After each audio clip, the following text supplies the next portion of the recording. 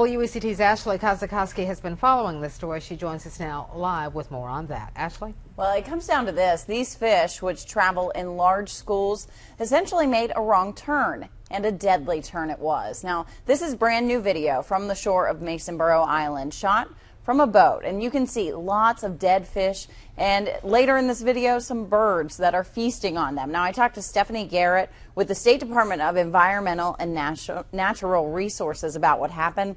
She says the fish went up Lucens Creek. That's where coastal management has a monitor that tracks oxygen levels and water temperature. Garrett says the monitor shows the fish used up all the oxygen and it suffocated them in less than an hour. Now, it's rare for the environmental experts to have this kind of information and to know exactly when a fish kill happened and the exact cause. You want to make sure it's not, you know, an algae or something that could be a concern for human health.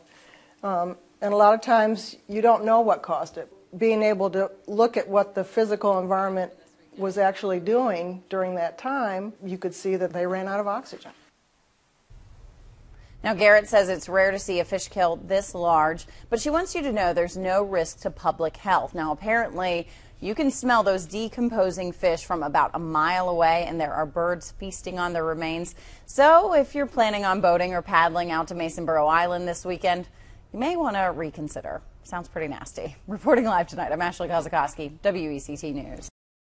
Now, when you go to the beach, this isn't what you expect to find. Take a look at this. Hundreds of dead fish covering the shore, and this is exactly what people in Pawleys Island woke up to this morning. We came down to the beach for the day just to have a you know nice day on the beach, smell this fish smell.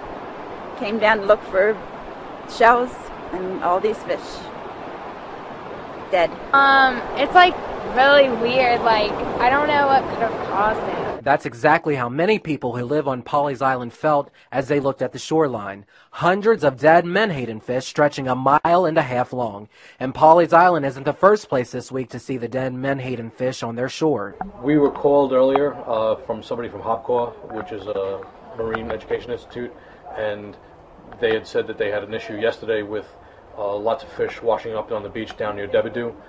Fanning added that events like today's happen from time to time. Last year, an influx of starfish were found on the same beaches. It's a shame. I don't know what's causing it. It may be confusing to the people who live nearby, but Fanning says the state is looking into what may have killed the fish. DHEC and DNR visited the area today and took water samples. No results were available, but experts think a lack of oxygen in the ocean is what caused the dead menhaden to wash ashore. Dr. Dan Hitchcock says that the fish fell victim because they are more prone to feel the effects of the loss of oxygenated water. And when it's one species like that, uh, the species is menhaden, mm-hmm. that's all over the beach. Uh, they, they are usually that's usually indicative of a, a, a low dissolved oxygen situation So Mother Nature will correct us. They'll wash the fish back out. Now, Pawleys Island police say there aren't any plans to clean up the fish that washed ashore today. Instead, they're just going to let the seagulls and the tide clear the sand. In Pawleys Island tonight, Ken Baker, WMBF News.